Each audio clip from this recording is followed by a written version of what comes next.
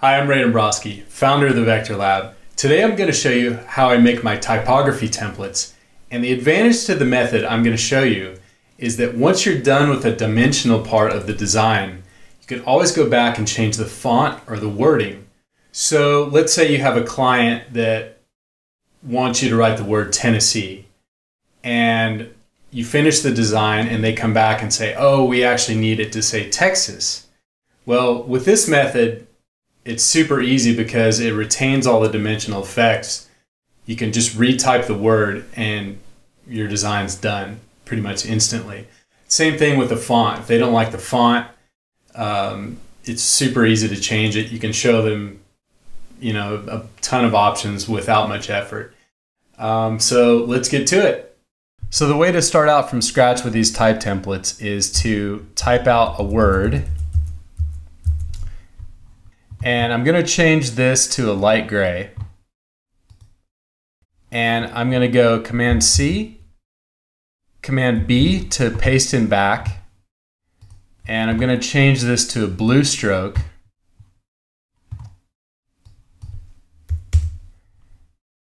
And I'll thicken that stroke up a little bit and then Command C, Command B again, and I'll change this to black, thicken that up.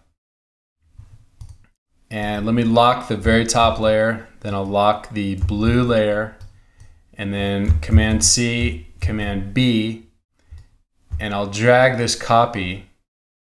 And what I'm gonna do is use the blend tool, which is over here, to make the 3D effect. And the blend tool basically draws in between shapes, between two shapes or two type objects. So I'll click on this, click on the first one, click on the second one. And I've got this right now, I've got this set to 150, but to demonstrate the blend tool, let me just show you what it looks like with two in between shapes. So you can see you've got your original shapes and then one, two behind it. You know, if you change it to 10, it's going to just look really jagged. So the more the more in between shapes or specified steps that you give it, the smoother it'll look. And let me just change this to 125. That should be that should be pretty good. And so we've got our 3D effect. And to make a cast shadow, I'm just going to use my open arrow tool, select that very bottom layer, Command C, and I'm just to select everything, lock it, just so it doesn't get in the way. And then I'm to go Command B, and I'm to change this black to sort of a medium gray. Copy, paste that in back once again and then drag this new copy over here. And I'm to get my blend tool again and click on the, the gray shape you can't see back here. And then I'll click on the one I just made.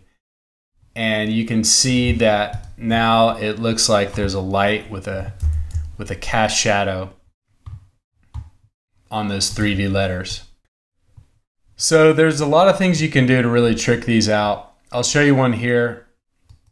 I'm going to select that bottom black part of the type, the 3D type, and I'm going to change it to kind of just a darker gray, and you'll see that it gives it a gradient, which is pretty nice. And there's another thing you can do. You can select this uh, top layer of type here, Command C, Command F, and I'll apply a pattern tile that I have pre-built to it. Turn that opacity down so it's not so extreme. And it gives a little grid pattern to that type. So experiment around. You can change the colors. You can change these to pattern tiles. You can play with the transparency. And the really powerful thing about these type templates is the ability to go back and change the font after you're done with it. So here I've changed it to Myriad, Myriad Bold, And when you do this, all the type effects that you've made are applied. You can also go in and change the word, go edit, find and replace. In the find box type typography or whatever the word is, and then in the replace with box, put in what you want to change it to. So here I want to change it to templates. Go find, and then replace all. Okay, and then done. So now it's changed to templates.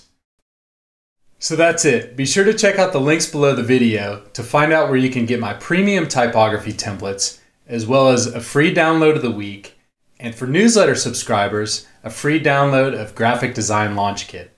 Thanks for watching.